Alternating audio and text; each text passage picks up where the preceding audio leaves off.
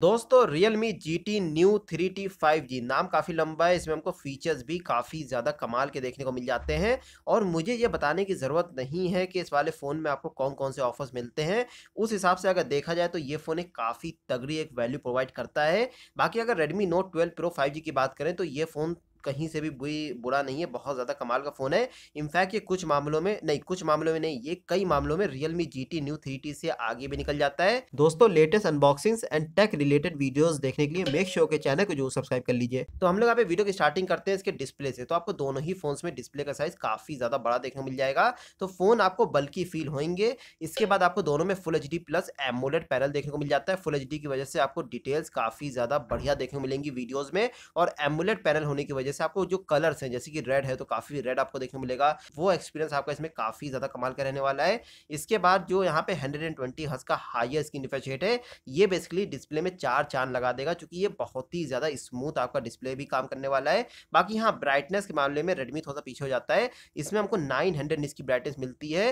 बाकी रियलमी में हमको थर्टीन हंड्रेड की ब्राइटनेस मिल जाती है। हालाँकि आपकी जो आउटडोर विजिबिलिटी है, वो दोनों फ़ोन की अच्छी रहने वाली है। लेकिन रियलमी में आपको एकदम टॉप ऑफ़ द नॉच आपको देखने को मिलेगा। इसके बाद आपको दोनों में एच डी टेन प्लस का सपोर्ट तो मिल जाता है, लेकिन जो डॉल्बी विजन का जो सपोर्ट है, वो आपको सिर्फ़ सिर्फ़ रेडमी में देखने को मिलता है रियलमी में ये फीचर आपको देखने को नहीं मिलता है। तो देखा जाए तो आप लोग एक बढ़िया डिस्प्ले के लिए अगर मैं आपको रिकमेंड करूँ तो फिर आप लोग रियलमी की तरफ़ जाइए। बस खाली इसमें डॉल्बी विजन का सपोर्ट नहीं है, लेकिन इसमें जो ब्राइटनेस है, वो इसकी काफ़ी तगड़ी है। और यहाँ पे बात की जाए इसमें चिपसेट की तो यहाँ पे रेडमी में हमको यहाँ पे मीडिया टेक डायमेंसिटी वन मिल जाती है, जो कि सिक्स एम पे बेस है, जिसके एंथ तो उसको आपको पाँच लाख के ऊपर देखने मिल जाते हैं। इसके बाद अगर रियलमी की बात करें तो यहाँ पे हमको एकदम फ्लैगशिप किलर रेंज वाली हमको इसमें चिपसेट देखने मिलती है, जो कि है क्वालकम स्नैपड्रैगन 877 एनएम पे है, जिसके एंथोस्कोर आपको इसमें सात लाख के ऊपर देखने मिलते हैं।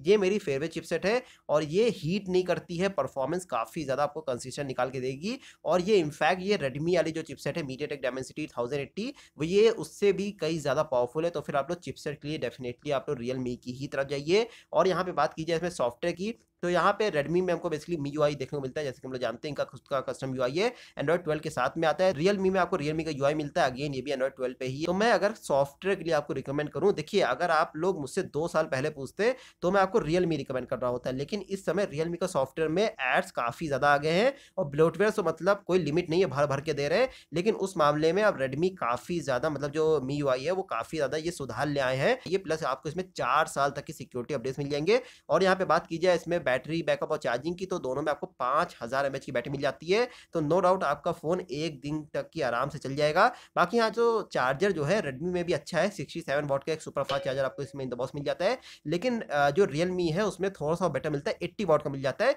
तो इतना फ़र्क है, मेरे हिसाब से कुछ ज़्यादा फ़र्क नहीं इसमें आप लोग ज़्यादा दिमाग मत लगाइए। दोनों का बैटरी बैकअप और चार्जिंग में एक्सपीरियंस आपका अच्छा रहने वाला है। और यहाँ पे बात की जाए इसमें कैमराज की तो आपको रेडमी में बेसिकली फिफ्टी मेगा का मेन कैमरा मिल जाता है, जो कि सोनी के सेंसर के साथ में आता है और यहाँ पे आपको I M X seven six मिल जाता है, जो कि काफ़ी कमाल का सेंसर है। लेकिन यहाँ पे इसमें चार चार लगाने के लिए OIS का सपोर्ट ये लोगों ने दे दिया है। और आप लोग ऐसा मत समझिए कि OIS का काम बेसिकली खाली वीडियो में स्टेबिलिटी खाली प्रोड्यूस करना होता है, ऐसा नहीं होता है। ये नाइट फोटोग्राफी भी इनहेंस कर देता है। काफ़ी ब्राइट आप लोग नाइट फोटोग्राफी भी ले पाएँगे। रियलमी की बात करें तो उसका मेन कैमरा अच्छा है सिक्सटी फोर मेगा का लेकिन कोई भी ओ के साथ में नहीं आता है। तो यहाँ पे हमको एक बिग कॉम्प्रोमाइज इसमें देखने को मिलता है। बाकी आपको दोनों में आठ आठ मेगा पिक्सल का अल्ट्रावर्ट कैमरा मिलते हैं और दो मेगा का मैक्रो लेंस मिलेगा। वीडियो शूट आप लोग दोनों में फोर के तक की कर पाएँगे। काफ़ी अच्छी बात है।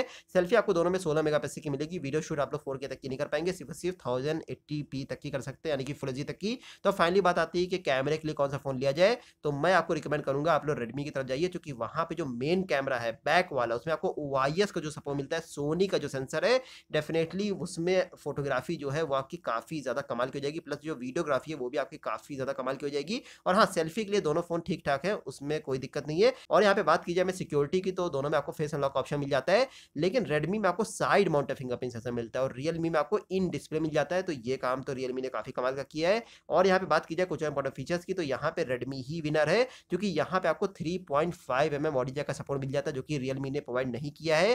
प्लस यहाँ पे फाइव के बैंड भी आपको रेडमी में थोड़े से बेटर मिलते हैं। आई पी की रेटिंग मिल जाती है और IR ब्लास्टर भी मिल जाता है। तो ये सभी प्रीमियम फीचर्स रियलमी से मिसिंग है। और यहाँ पे बात की जाए इसमें बिल्ड क्वालिटी और डिज़ाइन की तो अगेन रेडमी आगे निकल जाता है। यहाँ पे आपको ग्लास बिल्ड क्वालिटी मिल जाती है।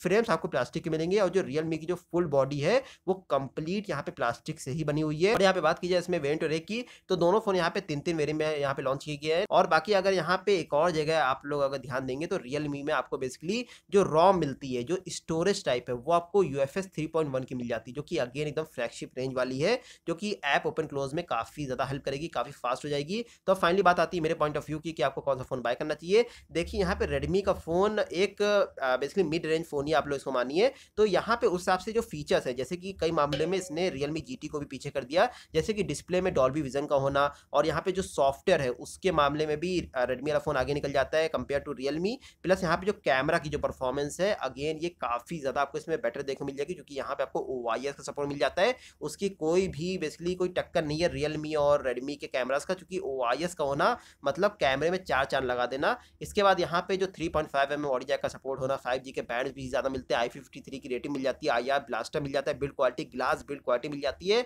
तो हाँ ये जो कंप्लीट जो फीचर लेकर के आ रहा है तो ये हाँ अपने प्राइस पॉइंट पर काफ़ी सही है। लेकिन अगर रियलमी की बात करें तो यहाँ पे भी कुछ अच्छे फीचर्स मिलते हैं। पहली बात तो ये फ़ोन काफ़ी सस्ता हो गया है। इसके बाद जो इसमें आपको ब्राइटनेस मिलती है डिस्प्ले में, वो काफ़ी अच्छी थर्टीन हंड्रेड इसकी है, जो कि हमको अगेन पचास मतलब पचपन हज़ार तक की फ़ोन में भी हमको इतनी ब्राइटनेस देखने को मिलती है। तो हाँ ये चीज़ काफ़ी कमाल की है।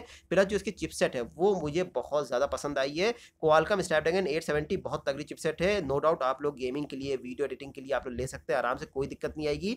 और एट्टी वॉट का चार्जर भी आपको इसमें दबाव में मिल रहा है। और बाकी आपको इंडिया फिंगरप्रिंट सेंसर बाकी स्टोरेज टाइप ये भी सब आपको इसमें बेटर चीज़ें देखने मिल जाती हैं। तो आई होप कि आपके सभी डाउट्स क्लियर हो गए होंगे। तो वहाँ पे वीडियो को एक लाइक जाओ कर दीजिए। हमारे चैनल को सब्सक्राइब जो कीजिए अगर आप लोग मुझे सपोर्ट करना चाहते हैं। मिलते हैं आपसे अगले वीडियो में। Tata bye bye